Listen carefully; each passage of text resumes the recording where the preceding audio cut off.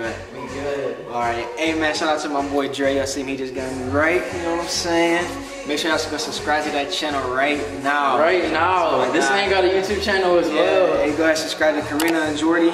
If you don't know how to spell her name, it's K-A-R-I-N-A and Jordy. So uh, yeah, man, shout out to my boy.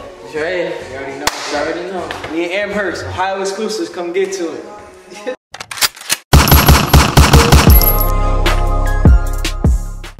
What is good, beautiful people? I just want to thank you guys for clicking on this video and watching it. I pray that you would learn and apply some of these tips and tricks to your barbering career and that it would advance and take you to the next level. But to get into this haircut, we're gonna start off by just clearing out some hair, kind of debulking. We're not making any lines or anything, just making a clean canvas so we can start our fading process. Alright, so to start the fading process, we're gonna go in with our trimmer, kind of making our bald line.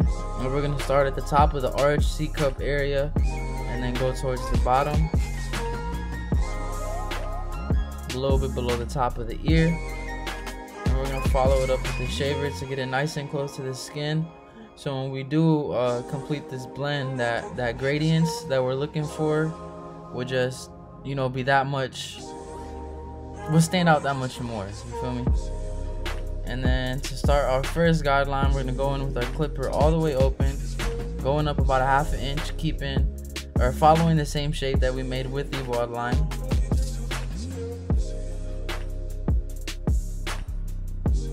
And right under that, we're gonna go closed.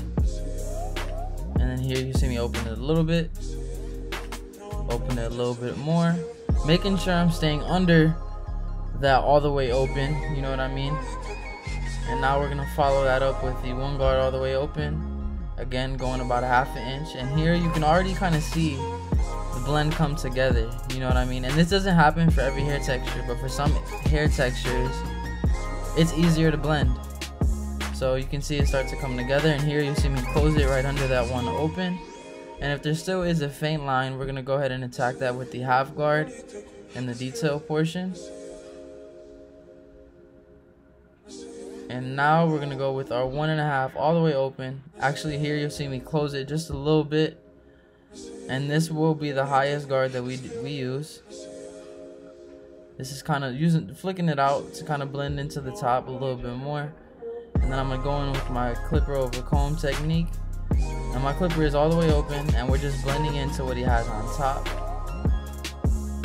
What I like to do, as you guys know, if you've watched any previous videos, I like to get through my steps as quickly as possible and then spend the, major- the majority of the time detailing the blend and the lineup and the total look of the haircut because again, that is what will separate you from other barbers is the detail that you put into your work and the clients will notice that, you feel me?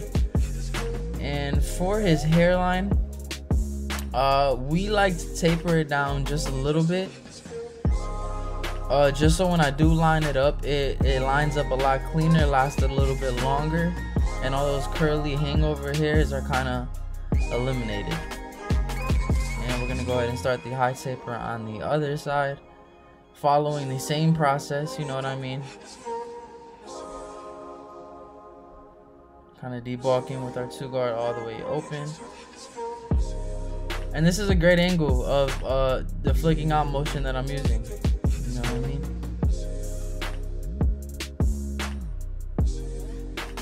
Now we're going in with our trimmer. Again, starting at the top of the C cup arch area and going towards the bottom. Bottom that boy out. And it's all about the process, family. Just like with anything in life, there's a process, there's a system, there's work that you need to put in and get familiar with to get to where you want to be. Because when we start off a haircut, we should have a visual of what we want it to look like. And then we have to follow the steps to achieve that look. And with life, there's going to be things that we desire, that we want, and we have to follow the process and put in the work to put us in the position to accomplish that dream, just like we're trying to accomplish this look. You know what I mean? So we're going in with our one guard all the way open. And like I said, you see that blend coming together already. This hair texture is very easy to blend. but it's all about getting familiar with all types of hair textures because you want to be a master at your craft. You don't want to be limited. You know what I mean? You want to be able to, offer multiple services, cut different type of hair textures. So again, you can advance your career to the best level that you can. So you never want to stop learning. You never want to stop perfecting what you do. You always want to grind and put in the work. Right under that one open, we went in with a half to kind of get rid of that faint line. And we're going back to the two guard open. Uh, just so we can remove a little bit more more hair to clear some space for that one and a half we're gonna follow this up with and you'll see me kind of flick out uh you can see it really well from this angle and this is kind of as well as debulking it is also shaping. You know what i mean? Because we're blending into a wedged style. So i don't want to go straight up with it. I want to go kind of out because he wants that wedged look. And here you'll see me close it just slightly. And this right here is the one and a half all the way open. And this is where the blend starts to look like a blend and especially with this uh, hair texture you'll see me brush it a lot because it is so curly that you can go through it with the guard and it'll bunch up in one area. So you want to make sure you're laying those hairs down as you fade. This is our one guard open kind of getting into those dark areas that we couldn't get to with the one and a half. Brushing like I said and same idea with the hairline. We're gonna lay down the the curly hairline with the one and a half. Just so when we do line it up it lines up a lot nicer and a lot cleaner. And it'll give it, it'll give the lineup a little bit more longevity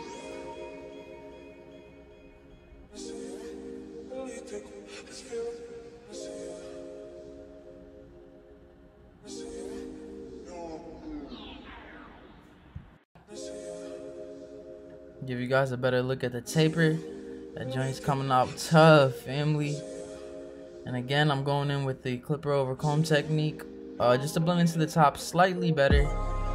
Freehanding a little bit to get that shape nice and right and the blend nice and tight. Man, your boy out here spinning bars. Stop playing with me.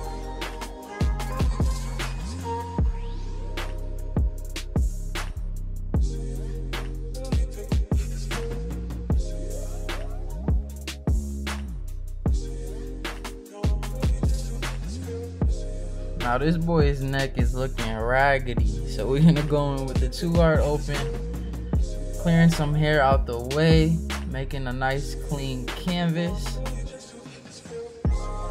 And the two guard open is the biggest guard we are going to be used on the neck taper as well. And here I went in with my clipper first. Uh, I really do not know why. Uh, this will be our first guideline, and right under that, I'm gonna I'm gonna go in with my trimmer and bald that out, and as well as the shaver. That was weird. I honestly don't know why I did that. Probably was just because I wasn't thinking. But nonetheless, same process. Still applying pressure. Still making sure this blend and this taper gonna be nice. Get my man Jordan looking right. Now my man Jordan is soon to be is going to be a soon to be father him and Karina are having a baby. So congratulations, Jordy and Karina. And their YouTube channel is a couple's YouTube channel. They do some funny uh, prank videos. Really cool people. Uh, much love to my guy Jordan, and much love to his girl Karina. But we're going in with the clipper all the way open right after balding them out. I'm going closed and you'll see me open it gradually as I get towards the top of that guideline but I'm always going to make sure I'm not going into that guideline. I want to stay right under it because I don't want to make another line that I have to get out. You know what I'm saying?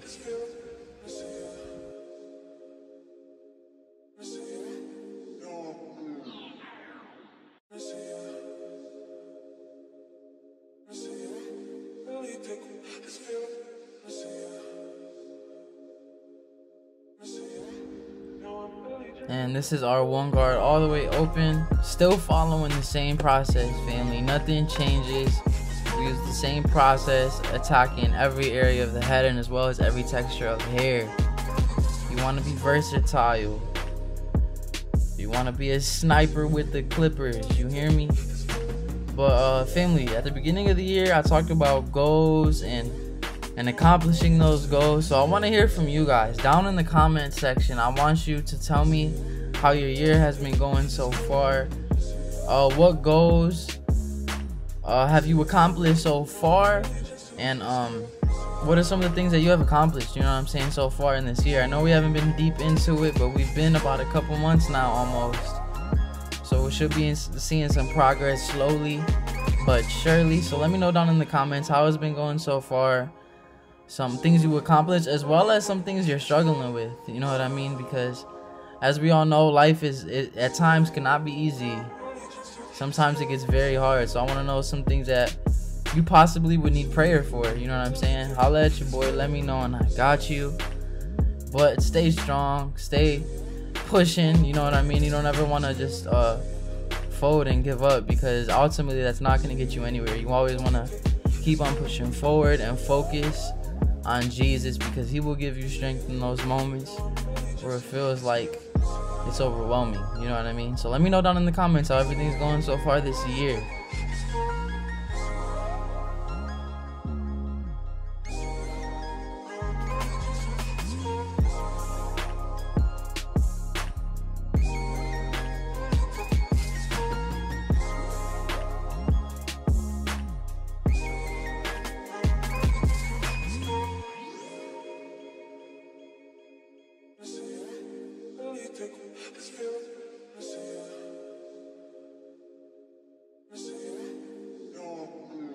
My dude's neck is looking a whole lot better. It's blending to the top very well. And just taking his look to another level, which is what we're all about is leveling up and being the best you could possibly be. And just like I did for the front uh, portion of the lineup, I do for the nape area of the lineup. Because a lot of times I'll see people do a taper and it looks really good, but the area between the neck taper and the side taper Looks very bulky and weighty, so I like to lay those hairs down. But when lining up the nape uh, neck area of the lineup, I start at the top of the ear, just so I avoid white walling him and taking him taking it too high. So I start at the top and then work my way to the bottom.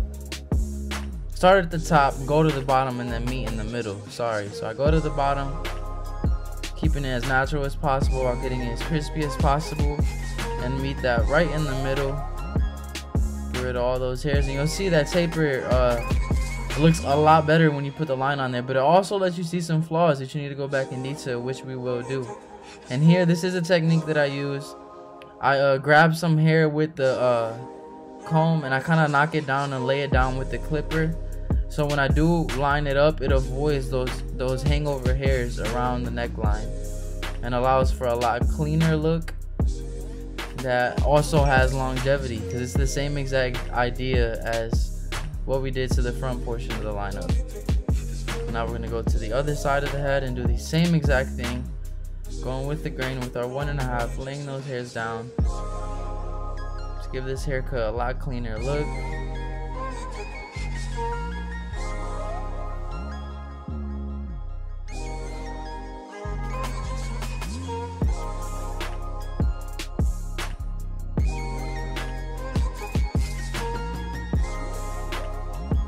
I'm excited, family. Uh, at the end of March, I'm going to Chris Bossio's Education with Purpose tour.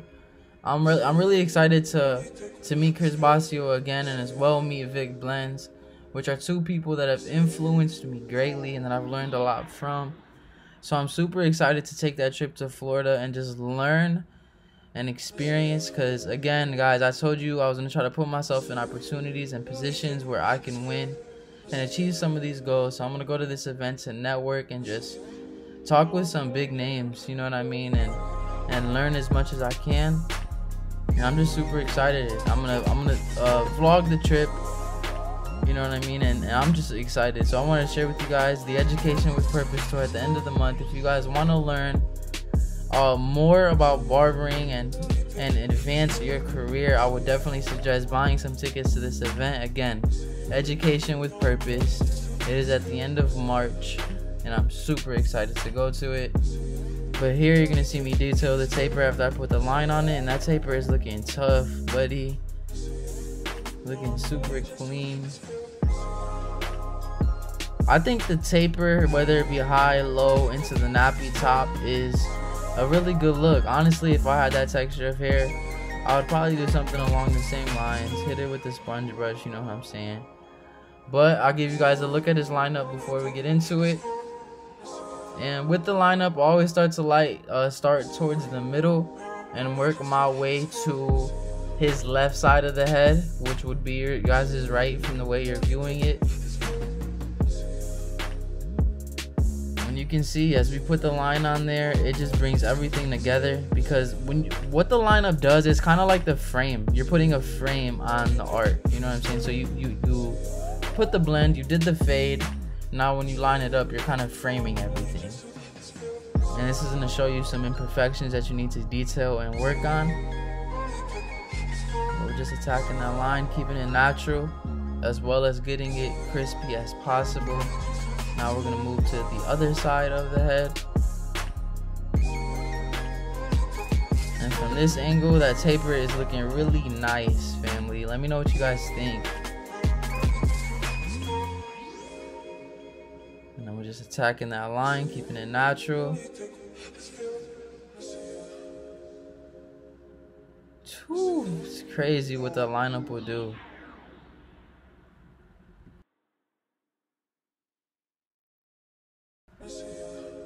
Alright, y'all. So we did the lineup, and now we're going to enhance it with a semi-permanent hair color. And I'm just gonna spray it lightly, and then take the card away. And if I need think it needs to be a little bit darker, I'll go ahead and do that. But you always want to be cautious of of making it look as natural as possible. Because you don't want to spray it too heavy or too dark, because then it looks super fake. You know what I mean? What this is supposed to be is just enhancement, meaning it's enhancing those lighter areas that that are kind of imperfect and making them perfect. So the client can leave that chair feeling 100% confident in you and then the haircut you got and as well as 100% confident in himself which is what it's all about. Is making the client feel amazing. So we went ahead and added that to the lineup. Now we're gonna go ahead and add it add it to the nape line this is definitely just gonna take that haircut to the next level make it instagram level you know what i mean and if I'm being honest with you guys, almost all my clients love this service. You know what I mean? I, I, there's there's a few that would prefer not to have it, but the majority always love the enhancements. Now, family, this is a technique that I have learned from Vic Blends at Get Beamed, and it is the the barber pencil. And here, what this is gonna do, I'm just gonna uh, follow the line up with it, and then I'm gonna attack it with the trimmer and kind of spread that out a little bit. And then I'm gonna go ahead and attack that with the razor. Now as you guys will see when I'm done with this part of the haircut it's going to give the lineup that HD effect that HD look. Because what that white pencil does is it creates a contrast between the dark hair and the lineup on top and his skin which allows that lineup to look super sharp and super crisp it kind of mimics the ash line that we desire. And as you can see, it's looking really clean. It is temporary, you know what I mean? But a haircut is temporary. Color enhancement is temporary. So if I can make my client feel amazing for the day that it lasts, why not do it? Especially if the client likes it. If the client likes it, you cannot argue with me. I don't care what you say. My client enjoys it. I'm gonna do it. You know what I mean? Because I'm trying to make my client feel his best, not make you feel good. You know what I mean? So this is the cut YouTube, a high taper with the nappy top.